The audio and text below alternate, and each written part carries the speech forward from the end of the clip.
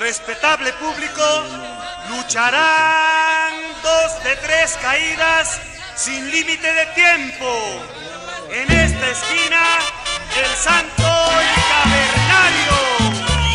Y en esta otra, Blue Demon y el... Tenía ganas de ser luchador. Era, desde niño era mi sueño.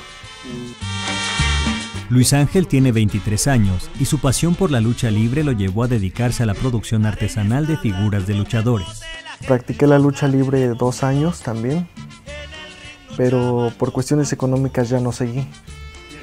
Entonces decidí usar mi imaginación y poder darle vida a estos personajes.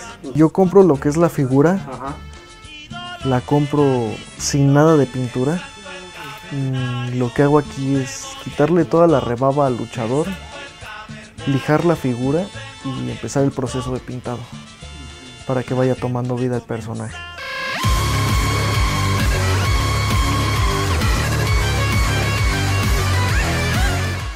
Lo que es un rayo de Jalisco, en 15, 20 minutos lo termino.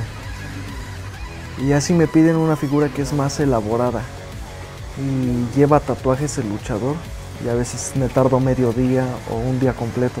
Lo que es tatuar toda la figura, armar la ropa con tela, todo, todo, cuidar todos los detalles.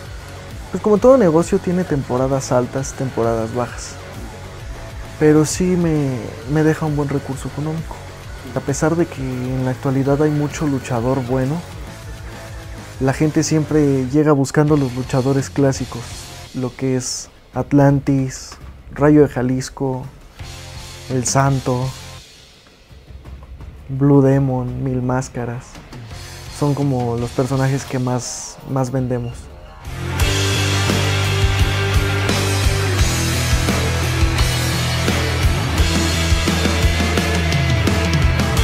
Luchador El Zorro, él hace aproximadamente dos semanas me enteré que iba a estar en una firma de autógrafos y no pude asistir. Yo le comenté que iba a mandarle una figura con mi cliente. Ese día en la noche se puso en contacto conmigo agradeciéndome que le había gustado la figura, que era un buen detalle y que ese tipo de muestras de cariño del público hacia él son lo que lo hace ser mejor luchador.